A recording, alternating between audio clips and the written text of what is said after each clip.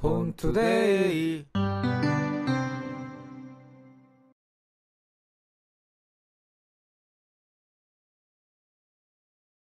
팩치박스 아이폰 5용 알로이 X 케이스를 소개해 드리겠습니다. 지금 색상은 티타늄 색상이시고요. 제 케이스를 개봉해 보겠습니다.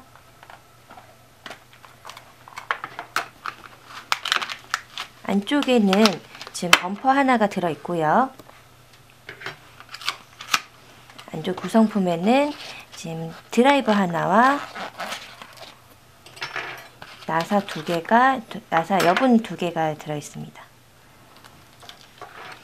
케이스는 항공 소재 알루미늄으로 울, 지금 울트라신 1.2mm시거든요. 지금 세계에서 가장 가볍고 지금 얇은 케이스로 불려지고 있는데요. 지금 무게는 6g 정도로 굉장히 가벼운 소재십니다. 케이스를 분리를 해볼게요.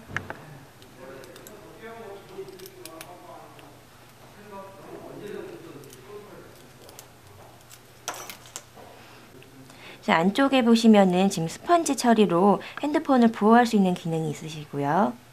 제 핸드폰 케이스를 장착을 해보겠습니다. 위쪽에 구멍 확인해 주시고요.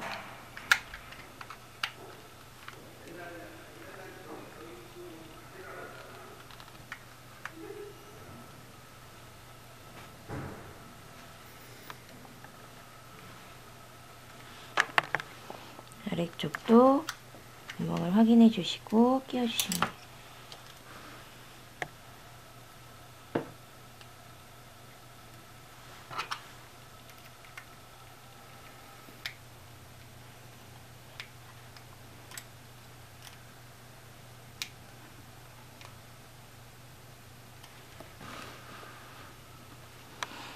지금 흔들어도 틈새가 없기 때문에 흔들리거나 소리가 나지 않습니다. 옆에 보시면 지금 스트랩폴이라고 이제 핸드폰 고리를 걸 수 있는 곳이 있는데요. 핸드폰 케이스를 끼우시기 전에 고리를 장착하시고 끼워주시면 되세요. 지금 핸드폰 기능들을 누를 수 있는 홀도 지금 정확히 뚫려 있고요.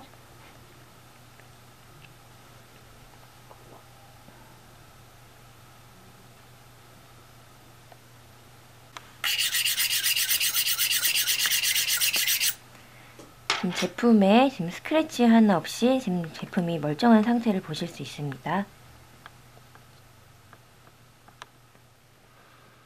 뒷면.